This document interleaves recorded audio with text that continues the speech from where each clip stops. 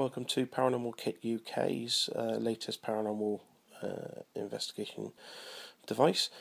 Uh, it's based on the REM pod um, and basically works exactly the same as the REM pod. Um, it picks up on uh, electromagnetic uh, disturbances which are generated by the um, two antennas that you see on the top there.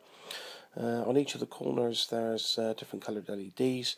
Um, now, basically, when you um, get into the to the uh, to the field, um, it'll start to detect you. Now, small amounts give you low volume and little LEDs. Um, if you you get more, um, you get a higher tone and you get more LEDs. Um, runs off of a 9 volt battery. The antennas are extendable um, now, if you go into a, a, building and there's already high EMF um, in in a particular area, basically what happens is is when you plug the battery in, um, you'll get an overload.